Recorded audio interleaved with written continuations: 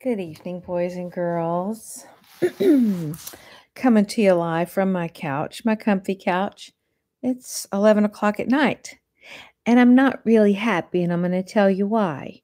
This morning, when I was all fresh makeup, fresh hair, looking a little bit cute, with the lighting good at school, I made um, the reading of chapters like 19 through 21 and I just realized tonight that I left off the last page of chapter 21. So that kind of ruined everything I did this morning. So I'm rereading what I did this morning and I'm just going to finish the book cuz cuz I want to finish the book. And my makeup's no longer good. I'm no longer fresh. I've got this cat's here. It's going to be bothering me. But I'll try to be sweet. Okay, I'll try to be sweet cuz this is a great book and uh, let's have a good time reading it. So I should be really good at this since I already did it um, over 12 hours ago. Right? Okay, so we're going to start um, on chapter 19, A Fire at Night, page 92. Let's begin. On a summer evening, Amanda and Jimmy and Meg sat outside their doorway. Amanda was sewing a shirt for Jimmy. Meg was making a hat of green palmetto leaves. Jimmy was rubbing the door knocker with a cloth. Robert Waters and Chris Carter came by. Barefooted with their long black beards, they looked like wild men. They stopped for a look at the lion's head. It was in our chest, said Jimmy, and the salt water made spots on it. Shall I take them off for you? Asked Master Carter. I can do it, said Jimmy. The two men went away, but in a little while, Master Waters came back alone. Do you like palmetto berries? Yes, said Jimmy. Do you know the place where the men dug the new well? I saw berries on a tree a little farther on. After Master Waters had gone, Jimmy said, I'm going to get some berries. We'll all go, said Amanda. They walked through the woods. Meg was skipping. Amanda asked her, Where did you learn to skip? I don't know, said Meg. It just happened to me. They went as far as the new well and a little farther. They found no palmetto berries, but they found something they had never seen before. It was a big, smooth rock with moss on its sides. Jimmy climbed up on it and jumped off. I want to jump, said Meg. She climbed the rock. She jumped off and fell into the bushes. Amanda went to her. Did you hurt yourself? No, said Meg. She began to pull at her buttons. Meg, said Amanda, what are you doing? I can't jump in all these clothes. Meg was out of her dress. She kicked off her shoes. Barefooted and in her petticoat, she climbed the rock and stood there. Look at me, she shouted. I'm a bird. She jumped with her long hair flying. Amanda looked in wonder. Meg was playing. Here on this island, in the clear, bright air, she had learned to play. Jimmy was shouting, I'm a bird too. He climbed the rock and jumped after her. Again and again they jumped. Come and jump, Amanda, said Jimmy. Oh, no, she said. It was such a long time since she had played. She was sure she had forgotten how. They walked slowly home. The sun was nearly down when they came to their house. Jimmy looked into the sea chest. Where is the knocker? Where did you put it? Asked Amanda. Back in the chest. Are you sure? I thought I put it back, he said. He looked in the grass outside the house. Ann Hopkins came down the path. What are you looking for? she asked. My lion's head, he said. Maybe someone took it. Who? he asked. Ann didn't answer. Maybe you took it, he said. She pulled her lips in. Do you think I would ever steal or tell a lie? I mean to go to heaven. September passed, and part of October. Every night a fire was lighted on the north tip of the island. It was to guide the ship that would come from Virginia. But when November came, Admiral Somers said, We need not light the fire any longer. I fear the boat never reached Virginia. If it had, a ship would have come by now. Chapter 20 A Quarrel Winter on the island was like no winter Amanda had ever known before. The days were fair. Warm winds in, blew in from the sea. In the North Harbor, men were building a ship. Part of it was made of wood from the wrecked Sea Adventure. Part of it was made of cedar that had been cut on the island. Almost every evening, Amanda and Jimmy and Meg took a walk down to the North Harbor to see the ship that was being built. It looks like a fish with the bones picked clean, said Jimmy. There was a long wooden keel with wooden ribs fastened to it. It did look like the bones of a fish, thought Amanda. Before the ship was finished, Admiral Somers said, We must build another one. Why? asked the men. This ship will not hold all our people and the things we want to take, said the Admiral. And there is another reason. If one ship should be lost, the other might still reach Virginia. Some of the men were angry. We have worked hard, they said, and now more work is put on our shoulders. A cloud seemed to fall over the island. Men began to meet in small groups. They talked together, and their voices were low and secret. A quarrel broke out on the North Harbor. Amanda and Jimmy and Meg met Mistress Hopkins outside her house. Mistress Hopkins talked to them about what had happened. Some of the men said they were tr- tired of building ships. Why should they go to Virginia, they said when they had a good life here. We must go to Virginia, said Admiral Somers. The people there need our help, and we were sent to help them. Sorry. Ah, stop it. Go if you will, said Robert Waters. Some of us mean to stay. He and seven others stopped work. They went to live on the other side of the island. It doesn't surprise me, said Mistress Hopkins. Robert Waters was always one to make trouble. Anne Hopkins was in the doorway. Is Master Waters gone? she asked. Yes, said his mother. And he isn't coming back. And he isn't coming back?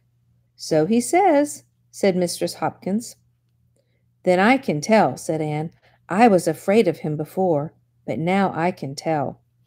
Tell what? asked her mother. He took the lion's head. How do you know? asked Amanda. I saw him go into your house while you were gone, said Anne, and you never saw the lion's head after that. Master Waters was good to us, said Amanda. He helped build our house. I don't believe he would take the door knocker. You don't have to believe me, said Anne, but I know what I saw. Amanda and Jimmy and Meg went home. Do you think Master Waters took the door knocker? asked Amanda. He used to say someone might steal it, said Jimmy. He used to say he wanted to keep it for me. Do you think he has it now? asked Amanda. I don't know, said Jimmy. Chapter 19. No, sorry, chapter 21. Waiting for Jimmy. One by one, the men came back until only Chris Carter and Robert Waters were left.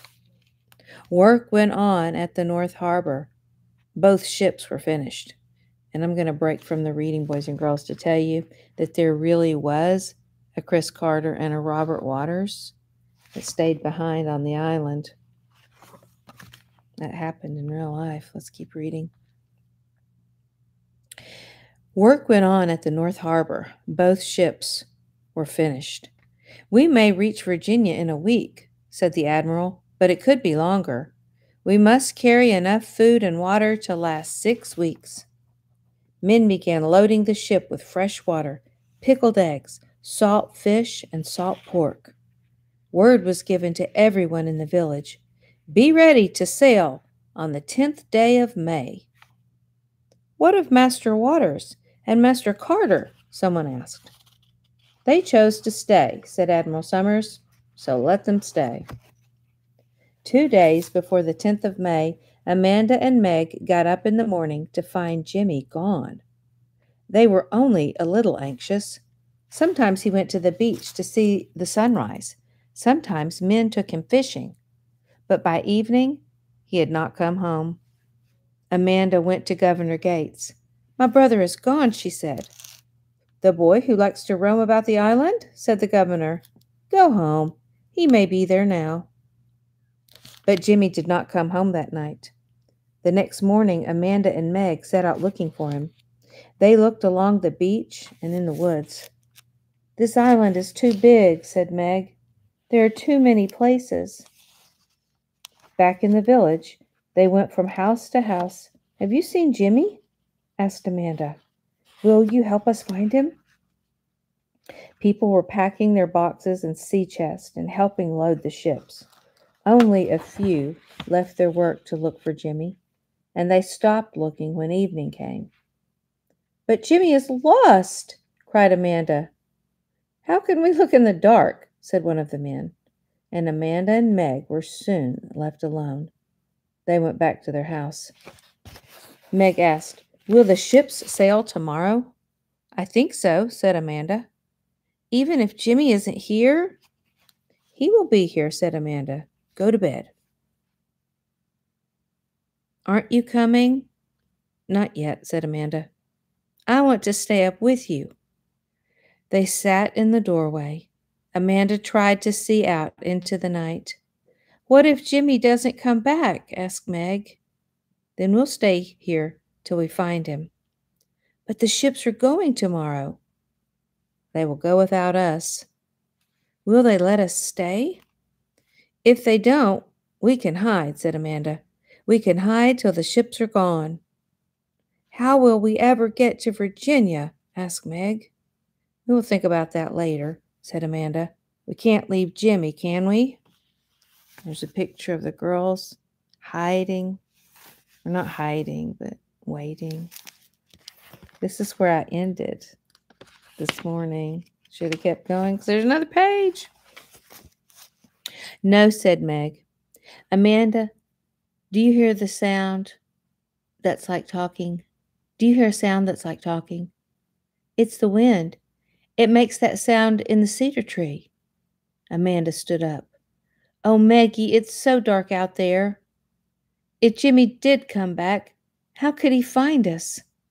She went into the house and felt on top of the sea chest for their one candle. She found it. Wait here, she said. Their cook fire was out. She went up the path until she saw a few coals still burning in someone else's cook fire. She knelt by the coals and lighted the candle. She went back to Meg. She stood in front of the house and held the candle high. Almost at once she heard footsteps. The candle shook in her hand. She almost dropped it. Jimmy? It was Jimmy. She could see him against the darkness. Amanda, I got it, he said. What? she answered. She asked. The knock, knock, he said. Chapter 22 The Other Side of the Island.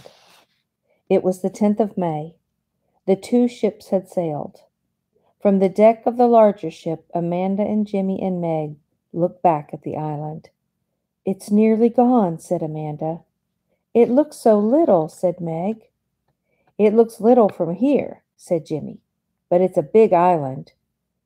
You'd know if you'd been lost there. Tell about being lost, said Meg. I told it already. You told Amanda I went to sleep. Now tell me. So he told his story again. He had gone into the woods to find Robert Waters. I knew there wasn't much time before we sailed, he said. If Master Waters did have my lion's head, I wanted it back. But he but he had lost his way. When night came, he had to sleep in the woods. In the morning I called and called, and they found me, Master Waters and Master Carter. They took me to their camp. I said I wanted the lion's head. Master Waters said he was keeping it so nobody would take it from me. He said we might get back to England one day and then we could sell it for money. Did you tell him it wasn't gold? asked Amanda. Yes, but he didn't believe me. Master Carter told him to give it back. Master Waters wouldn't, and they started to fight. While they were fighting, I went into the tent and found the knocker. I took it and ran. Once he had thought Master Waters was after him. I hid under a bush, he said. I hid till after dark. Then I came on. I didn't know where I was till I saw the candle out in front of our house. Why didn't you tell us where you were going? asked Amanda. I didn't know it would take so long, he said. You made us all worry, Jimmy. Yet she was proud of him. Whatever he did, it seemed she was proud of him. The two ships were crowded. They were more crowded than the sea adventure had been. But the sea was calm and the voyage was easy. In less than two weeks, they were in sight of land. The ships sailed side by side into the waters of a bay. Captain Newport had, had sailed these waters before. Chesapeake Bay, he said. Amanda saw a rooftop on shore. A flag was flying from it. Is it Jamestown? she asked. No, said the captain. That is the fort on Point Comfort. They stopped at Point Comfort. Two other ships were there. Captain Newport and Admiral Somers began to, to point and talk together in great excitement. The ships they saw were two that had sailed with the Sea Adventure. A man rowed out from shore in a canoe. Sailors threw him a rope and pulled him aboard. He was a gray haired Englishman. Have you come from England? he asked. From Bermuda, answered the Admiral. I am Admiral Somers, and our ship, the Sea Adventure, was wrecked there. The man cried out, This is a great miracle! We thought you were lost. What of the other ships that sailed with us? asked the Admiral. All but one came safely to Virginia. Where are they now? Gone back to England, except for those you see here, and they will leave soon. What of Jamestown? asked Captain Newport. The Englishman shook his head. Ah, there's a sad tale.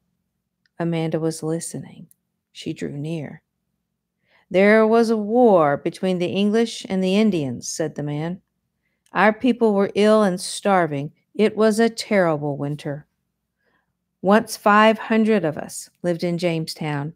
Now only a handful are left. Some went away into the woods. Some are dead. We hear that more ships are on the way from England. I pray they will come in time to save our poor colony. We are here, said Admiral Somers. Let us go to Jamestown with all speed. Chapter 23 The Lion's Head.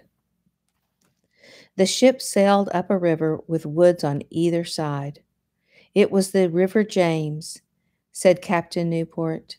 Amanda and Jimmy and Meg were on deck. Jimmy was watching for Indians. Meg was watching for deer. What are you watching for, Amanda? she asked. Amanda hardly heard. She was saying over and over to herself, Let father be safe. Let him be well.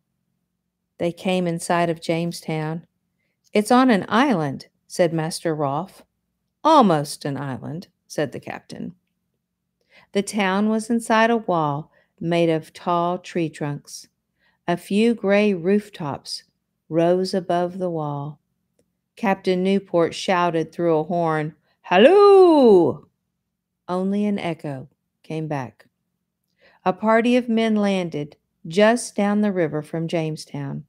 Amanda watched them make their way along the shore.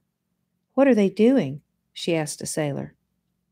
They are making sure it is safe for us to land, he answered. Soon the men were, were in the town, looking out over the wall. They were making signs to let the captain know there was no danger. The river is deep here, said the captain. We can bring the ships all the way to shore.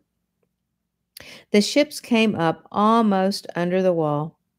Admiral Somers and Captain Newport crossed the plank from their ship to the shore. Ladies and gentlemen began to cross after them. Amanda and Jimmy and Meg waited their turn. Someone made way for them, and they walked across the plank. On shore, they followed the others to a gate in the wall. It was open, and they went through. They saw a square of log houses, a church, and a long shed that might have been a storehouse. The roof was off the shed. The church door was broken. There was an open yard in the middle of the town. A few thin, wild looking men were there. They had gathered about the admiral and the captain. Amanda looked quickly at their faces and turned away. She looked into houses one after another. All were empty. Halfway around the square she went, looking, looking. She pushed open the door of a house and drew back. A man was there. He lay on the floor. His clothes were in rags, and he was so thin the bones of his face stood out. He was changed. He was so terribly changed, yet she knew him. Father, she said. He turned towards her. His eyes were staring, and he said something that sounded like, They've gone away. Father, it's Amanda, she said. Still, his eyes stared. He didn't know her. She wanted to cry out, Look at me! Remember me! Jimmy and Meg were in the doorway. They came slowly inside. Is it father? whispered Meg. Is it Amanda? asked Jimmy. Yes, but he doesn't. He doesn't. She knelt and tried again. It's Amanda and Jimmy and Meg. Jimmy came closer. He had taken the lion's head out of his pocket. He was holding it up for father to see. And father saw it. He was looking first at the lion's head, then at their faces. He spoke their names Amanda, Jimmy, Meg. Amanda dried her eyes on her sleeve. She said to Jimmy and Meg, Go to the admiral. Go to the captain. Ask them to come here. And then you go to the ship, bring food, anything you can find, bring water. They started off. Run, she said. She took father's head in her lap. He reached up a hand to her, and she held it. She had thought it might be cold, but it was warm. She was not afraid now. They were here to care for him, she and Jimmy and Meg, and help was on the way. He was looking toward the door. She looked to see what he had seen. Above the door latch was a peg, and Jimmy had hung the knocker there, the lion's head that caught, had caught the light and made a brightness in the room. Oh, do you remember when I, we started the story and I said the author made use of dark and light? He ends it on a light that and that's the sign of hope. That's a good sign, a brightness in the room where darkness had once been. And now, a historical note. As I told you, this was historical fiction. So let's see what part of this story maybe was actually true. On June the 2nd, 1609, the Sea Adventure with eight other ships sailed from Plymouth, England. The small fleet was bound for Virginia then an English colony in the New World. Two years before, settlers had found the village of Jamestown there. Now many were ill, they faced starvation, and they were at war with the natives. The ships from England were bringing help and supplies. For weeks they sailed together, but on July 23rd, a storm drove them apart. Three days later, the Sea Adventure was wrecked off an island in the Bermudas, about 600 miles from Virginia.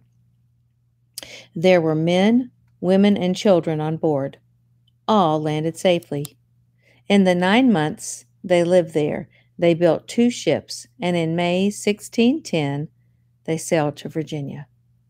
They brought food from the friendly island salt fish and pork, palm cabbage, cactus pears, and the pickled eggs of wild birds.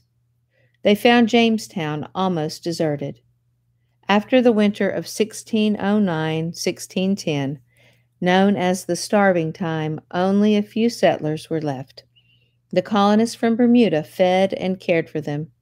Before the food was gone, three ships came from England with more supplies and new settlers, and Jamestown was saved. Stories of the sea adventure were published in England. Some of them were read by a man who wrote plays for a London theater and he wrote a play about a storm at sea and a shipwreck on an enchanted island. The play was The Tempest. The man was William Shakespeare. So, William Shakespeare wrote um, a famous play off of this. Okay, and you can read about Clyde Robert Bulla. In the end, I'll stop the I'll stop the reading here. All right, boys and girls, what do you think? You pleased with the ending?